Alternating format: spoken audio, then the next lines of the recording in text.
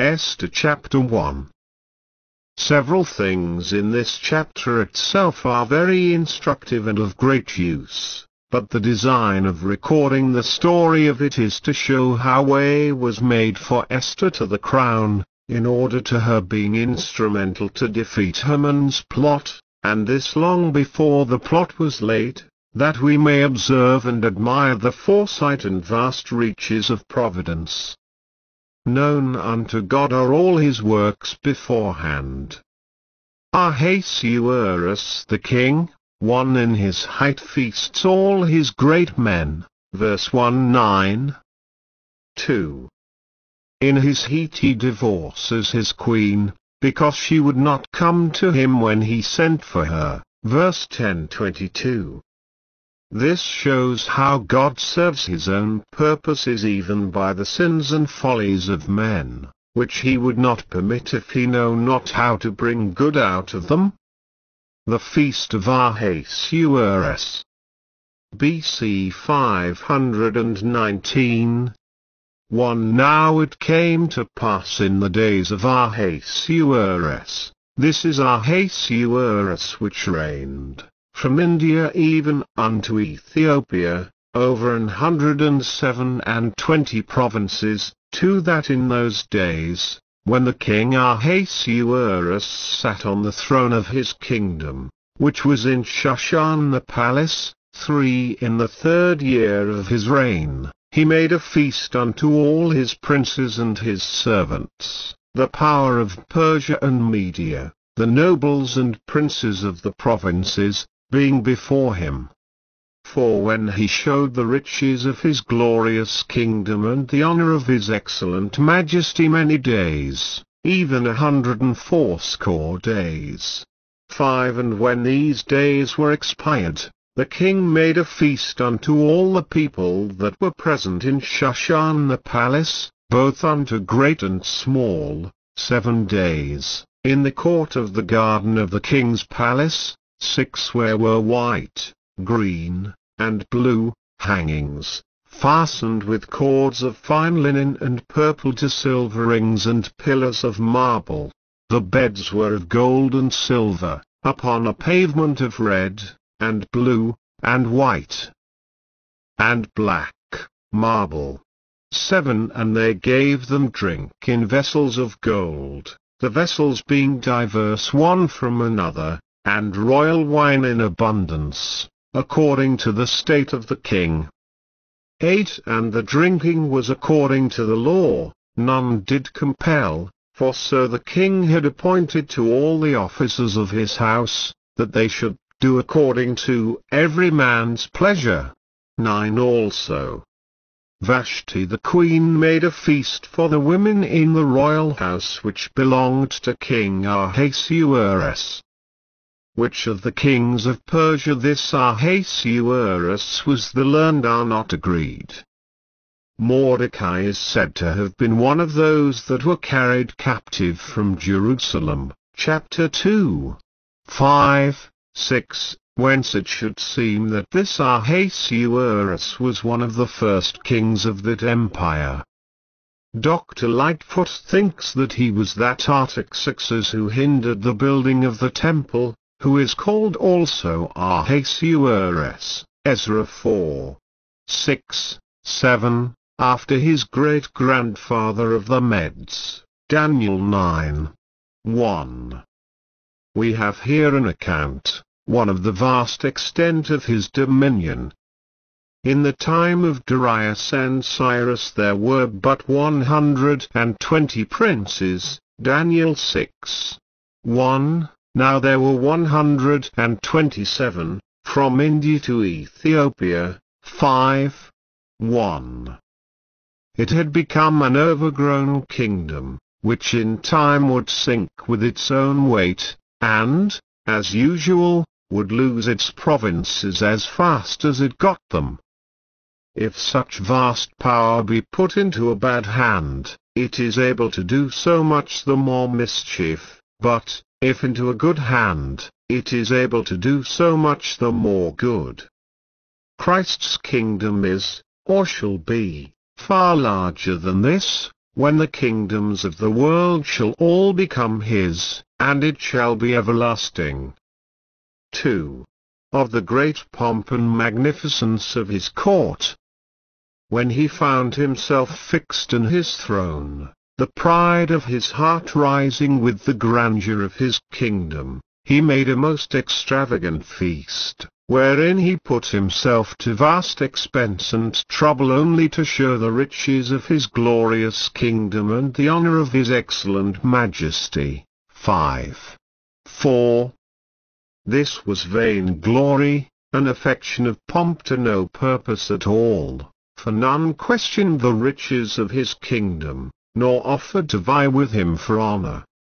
If he had shown the riches of his kingdom and the honor of his majesty, as some of his successors did, in contributing largely towards the building of the temple and the maintaining of the temple service, Ezra 6, 8, 7, 22, it would have turned to a much better account. Two feasts Ahasuerus made, one. One for his nobles and princes, which lasted a hundred and eighty days, five, three, four. Not that he feasted the same persons every day for all that time, but perhaps the nobles and princes of one province one day, of another province another day, while thus he and his constant attendants fared sumptuously every day. The Chaldee paraphrast, who is very bold in his additions to the story of this book, says that there had been a rebellion among his subjects and that this feast was kept for joy of the quashing of it. 2. Another was made for all the people, both great and small, which lasted seven days some one day and some another, and, because no house would hold them, they were entertained in the court of the garden. 5. 5. The hangings with which the several apartments were divided or the tents which were the pitched for the company, were very fine and rich, so were the beds or benches on which they sat, and the pavement under their feet. 5. 6. Better is a dinner of herbs with quietness, and the enjoyment of one's self and a friend, than this banquet of wine with all the noise and tumult that must needs attend it. 3. Of the good order which in some respects was kept the notwithstanding. We do not find this like Belshazzar's feast, in which dunghill gods were praised and the vessels of the sanctuary profaned, Daniel 5. 3, 4. Yet the Chaldee paraphrase says that the vessels of the sanctuary were used in this feast, to the great grief of the pious Jews. It was not like Herod's feast, which reserved a prophet's head for the last dish. Two things which are laudable we may gather from the account here given of this feast. 1 that there was no forcing of healths, nor urging of them, the drinking was according to the law, probably some law lately made, none did compel, no, not by continual proposing of it, as Josephus explains it. They did not send the glass about, but every man drank as he pleased verse 8, so that if there were any that drank to excess it was their own fault a fault which few would commit when the king's order put an honor upon sobriety. This caution of a heathen prince, even when he would show his generosity, may shame many who are called Christians, who think they do not sufficiently show their good housekeeping, nor bid their friends welcome, unless they make them drunk, and, under pretence of sending the health round, send the sin round, and death with it. There is a woe to those that do so, let them read it and tremble. Habakkuk 2. 15, 16. It is robbing men of their reason, their richest jewel, and making them fools, the greatest wrong that can be. 2. That there was no mixed dancing, for the gentlemen and ladies were entertained asunder, not as in the feast of Belshazzar, whose wives and concubines drank with him, Daniel 5. 2, or that of Herod, whose daughter danced before him. Vashti feasted the women in her own apartment, not openly in the court of the garden, but in the royal house. 5. 9. Thus, while the king showed the honor of his majesty, she and her ladies showed the honor of their modesty, which is truly the majesty of the fair sex. Vashti's refusal to appear, Vashti divorced.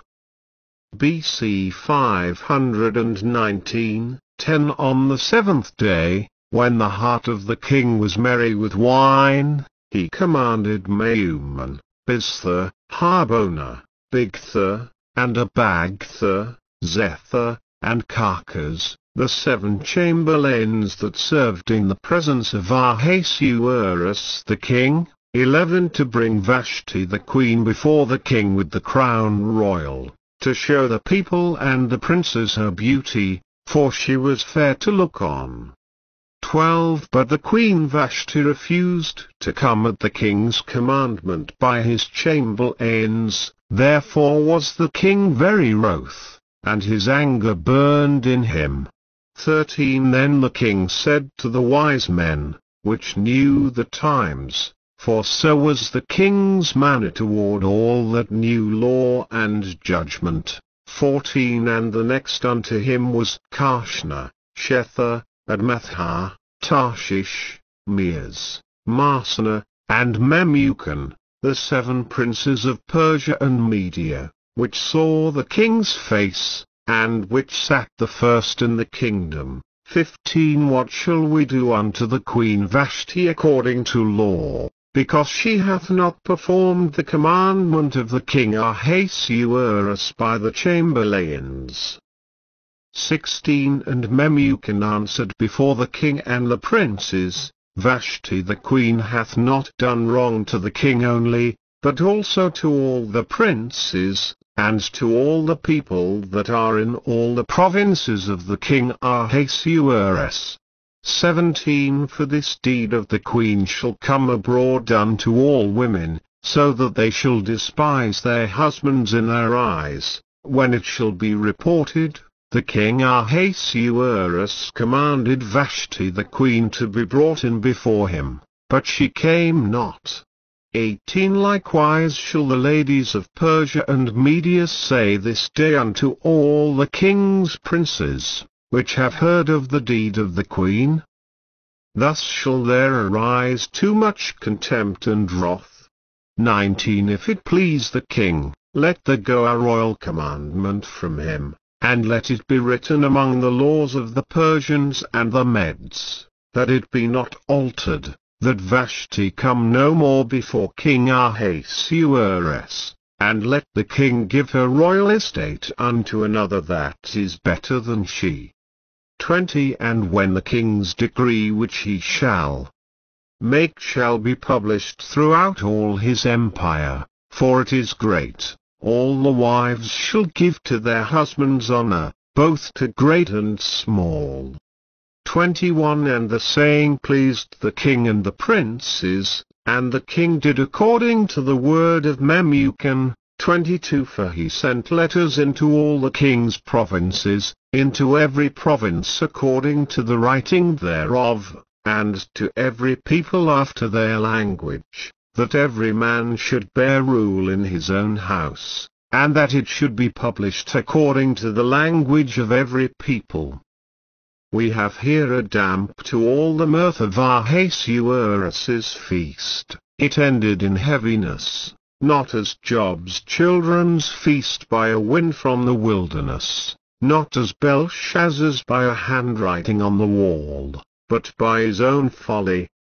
An unhappy falling out there was, at the end of the feast, between the king and queen, which broke of the feast abruptly, and sent the guests away silent and ashamed. 1. It was certainly the king's weakness to send for Vashti into his presence when he was drunk, and in company with abundance of gentlemen, many of whom, it is likely, were in the same condition. When his heart was merry with wine nothing would serve him but Vashti must come, well dressed as she was, with the crown on her head, that the princes and people might see what a handsome woman she was, 5. 10, 11. Hereby, 1. He dishonored himself as a husband, who ought to protect, but by no means expose, the modesty of his wife, who ought to be to her a covering of the eyes, Genesis 20. 16, not to uncover them. 2.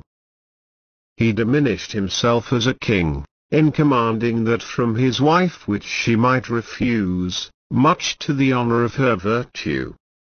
It was against the custom of the Persians for the women to appear in public, and he put a great hardship upon her when he did not court, but command her to do so uncouth a thing, and make her a show. If he had not been put out of the possession of himself by drinking to excess, he would not have done such a thing, but would have been angry at any one that should have mentioned it. When the wine is in the wit is out, and men's reason departs from them. 2. However, perhaps it was not her wisdom to deny him. She refused to come verse 12, though he sent his command by seven honorable messengers, and publicly. And Josephus says, sent again and again, yet she persisted in her denial. Had she come, while it was evident that she did it in pure obedience, it would have been no reflection upon her modesty, nor a bad example. The thing was not in itself sinful, and therefore to obey would have been more her honor than to be so precise. Perhaps she refused in a haughty manner, and then it was certainly evil, she scorned to come at the king's commandment. What a mortification was this to him! While he was showing the glory of his kingdom he showed the reproach of his family, that he had a wife that would do as she pleased. Strifes between yoke fellows are bad enough at any time but before company they are very scandalous, and occasion blushing and uneasiness. 3. The king thereupon grew outrageous. He that had rule over 127 provinces had no rule over his own spirit, but his anger burned in him. 5. 12. He would have consulted his own comfort and credit more if he had stifled his resentment, had passed by the affront his wife gave him, and turned it off with a jest. 4. Though he was very angry, he would not do anything in this matter till he advised with his privy councillors, as he had seven chamberlains to execute his orders, who are named verse 10. So he had seven counselors to direct his orders. The greater power a man has the greater need he has of advice, that he may not abuse his power. Of these counselors it is said that they were learned men, for they knew law and judgment, that they were wise men, for they knew the times, and that the king put great confidence in them and honor upon them for they saw the king's face and sat first in the kingdom. 5, 13, 14. In the multitude of such counselors there is safety. Now here is, 1.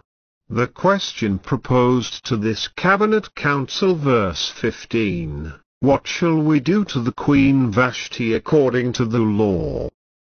Observe, 1. Though it was the queen that was guilty, the law must have its course. 2. Though the king was very angry, yet he would do nothing but what he was advised was according to law. 2. the proposal which Memucan made, that Vashti should be divorced for her disobedience. Some suggest that he gave this severe advice, and the rest agreed to it, because they knew it would please the king, would gratify both his passion now and his appetite afterwards. But Josephus says that, on the contrary, he had a strong affection for Vashti, and would not have put her away for this offence if he could legally have passed it by, and then we must suppose Memucan, in his advice, to have had a sincere regard to justice and the public good. 1. He shows what would be the bad consequences of the queen's disobedience to her husband, if it were passed by and not animadverted upon that it would embolden other wives both to disobey their husbands and to domineer over them. Had this unhappy falling out between the king and his wife, wherein she was conqueror, been private, the error would have remained with themselves and the quarrel might have been settled privately between themselves, but it happening to be public, and perhaps the ladies that were now feasting with the queen having shown themselves pleased with her refusal, her bad example would be likely to have a bad influence upon all the families of the kingdom. If the queen must have her humour, and the king must submit to it, since the houses of private persons commonly take their measures from the courts of princes, the wives would be haughty and imperious and would scorn to obey their husbands, and the poor despised husbands might fret at it, but could not help themselves, for the contentions of a wife are a continual dropping. Proverbs 19, 13, 27, 15, and see Proverbs 21, 9, 25. 24. When wives despise their husbands, whom they ought to reverence, Ephesians 5. 33, and contend for dominion over those to whom they ought to be in subjection, 1 Peter 3. 1. There cannot but be continual guilt and grief, confusion and every evil work and great ones must take heed of setting copies of this kind. 5. 1618 2. He shows what would be the good consequence of a decree against Vashti that she should be divorced. We may suppose that before they proceeded to this extremity they sent to Vashti to know if she would yet submit, cry Peccavi, I have done wrong, and ask the king's pardon, and that, if she had done so, the mischief of her example would have been effectually prevented, and process would have been stayed, but it is likely she continued obstinate, and insisted upon it as her prerogative to do as she pleased, whether it pleased the king or no, and therefore they gave this judgment against her, that she come no more before the king and this judgment so ratified as never to be reversed. 5. 19. The consequence of this, it was hoped, would be that the wives would give to their husbands honor, even the wives of the great, notwithstanding their own greatness, and the wives of the small, notwithstanding their husbands. Meanness verse 20 and thus every man would bear rule in his own house, as he ought to do, and, the wives being subject, the children and servants would be so too.